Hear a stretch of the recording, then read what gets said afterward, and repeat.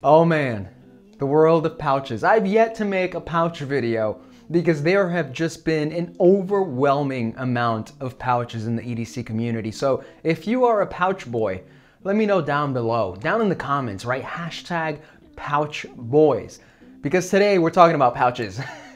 My first introduction video to pouches. I haven't bought an EDC pouch in well over probably two years now. And there's one particular brand who is like crushing it right now, and that is Data Crew. So today we're talking about the Data Crew What a slider. Got a couple of them in, you know, because I couldn't decide on what I wanted, and variety is the spice of life. So let's figure out if this is the number one pouch you should get. So let's kick it off with some specs. So we are looking at a 3.5 inch height, 4.5 inch length, and two inches of thickness. We've got a 500 denier, denier, not sure how to pronounce it, outer shell, nylon and nylon mesh on the interior. We got a YKK number five coated coil zipper, military nylon thread number 69 and this particular pouch is water resistant. So the What a Slider by Data Crew is definitely one of the most hyped up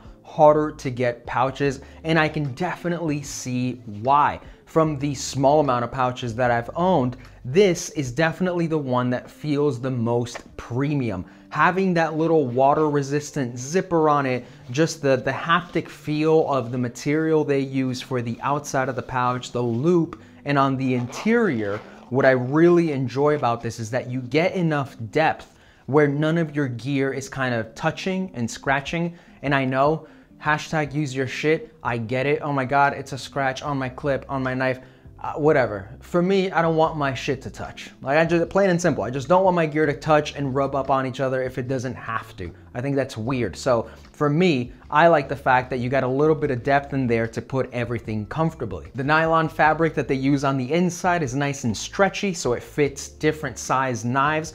Um, the one thing I would keep in mind if you're considering buying this pouch is that of course it's on the smaller side, so it's not going to fit a full-size knife. For me, something like this is meant to hold a secondary carry, so I have my main knife in my pocket. Something like this will have maybe a small fifth pocket style knife, or right now I'm in the world of slip joints, so it'll most likely carry a slip joint, a flashlight, a pen, probably a little multi-tool, and then a handkerchief. So keep in mind, this isn't meant to be a pouch where you're gonna keep a full primary carry in my opinion, but everything does fit really well, which I enjoy. The two nylon pockets on the left side is normally where I would put my knife and my flashlight. And on the other side, you do have that little double loop pocket so you can put some REs in there as well. On the outside of the pouch, you have this little zippered pocket, which I think is great.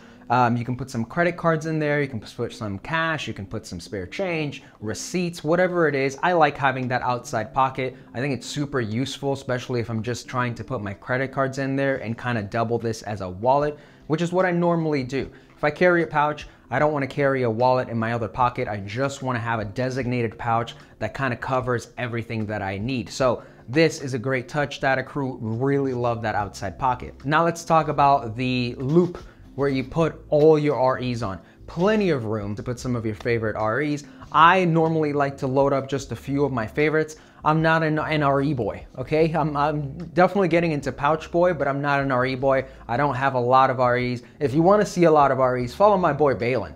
Uh, he, check him out. Like he has a lot of patches or even EDM, Brandon, Everyday Minimalist. Their patch game is hella strong. My patch game is super weak, but a lot of room, a lot of space to put some of your favorite stuff. Really easy to remove patches and put them on. 10 out of 10 would recommend. So last thing to keep in mind, the What a Sliders are 60 bucks, $60. Like I said, it's been a while since I've bought a pouch. So therefore, I'm kind of out of touch with what the prices look like. $60 for me seems like a fair price for something like this. The quality is there, there's enough room to put a lot of your favorite gear in here, and it's really damn fashionable. I went on the Super Secret Club link and I picked up this one in a camo, and then I picked up this other one in midnight camo, and I like them. I think it's cool. I think they're bringing their own flair to the pouch game, and that's awesome. So for me, it's worth $60. But like I said, they're super limited. So if you want to score one of these, the way that I did it was I signed up for their email list. They have a link and it's a super secret club link. Keep that link in your bookmarks. So that way, when they send an email telling you that there's a drop, you can click that link and pick some of them up. I highly recommend it. Really good quality pouch. I picked up two because of that. And maybe I'll pick up more. Who knows? If they do some exclusive in leather, I would love to see that. Data crew, if you're listening to me, leather, please and thank you. Maybe like a brown. Yes, please. So that is it guys. That is a quick little overview on the What a Slider by Data Crew. Let me know what you guys think of this style of video. Should I do more pouch videos? Should I do like pouch hauls? Uh, I don't know if that's even a thing. I'm a newbie when it comes to the pouch game, so be easy on me down in the comments. Give me give me love and, and tenderness. Don't don't don't roast me down in the comments. So thank you guys for tuning in. I'll catch you guys in the next video.